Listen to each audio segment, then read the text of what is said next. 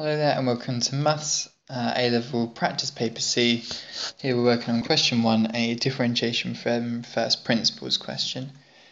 Prove in first principles that the derivative of 5x cubed is 15x squared.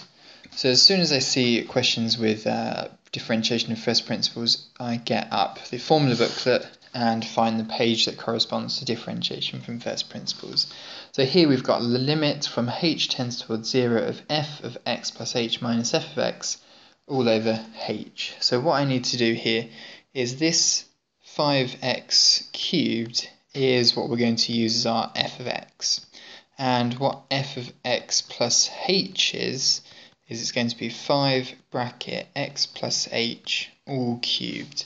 So I'm going to eventually need to expand this cubic, but we'll start with plugging this straight into the formula. So it's going to be f dash x of the limit as h tends towards 0 of uh, f of x plus h, so that's going to be this 5 bracket x plus h cubed minus 5x cubed. That's just your standard f of x, and we divide that through by h. So what we've got to do now is simplify our limit here. Eventually some bits will cancel out and we'll have to divide through by h as well. So carrying on with that limit sign, so the limit as h tends towards 0, and we're going to expand this bracket here. So x plus h cubed, so let's think about what that could be. We could either use the uh, binomial uh, expansion formula or we could just expand a triple bracket.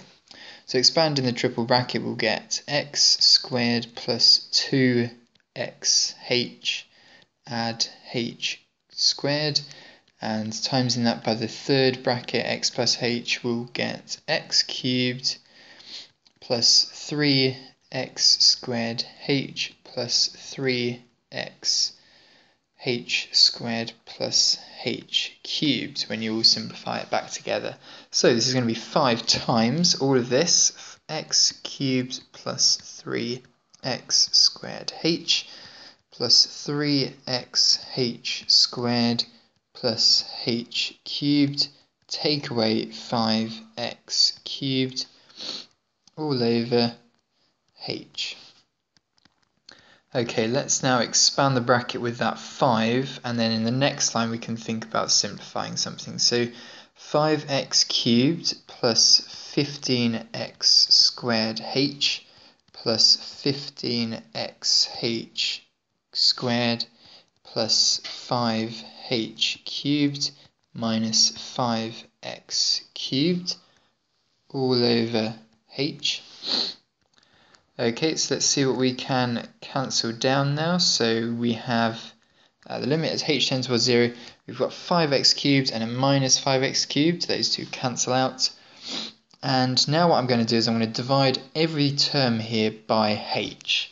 So this is going to be 15x squared.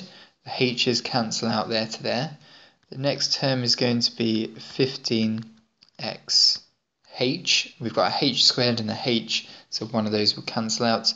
And then the next term here is going to be 5h squared from the h cubed and the h cancelling out. So now I'm going to involve the limit thing here. This has just been lingering at the front here for a little while. So what I'm going to do now is incorporate this into the uh, expression. So 15x squared as h tends towards 0, well that doesn't involve h, so that's still 15x squared. Uh, as h tends towards 0, this uh, expression here will um, get closer towards 0 no matter what value x is.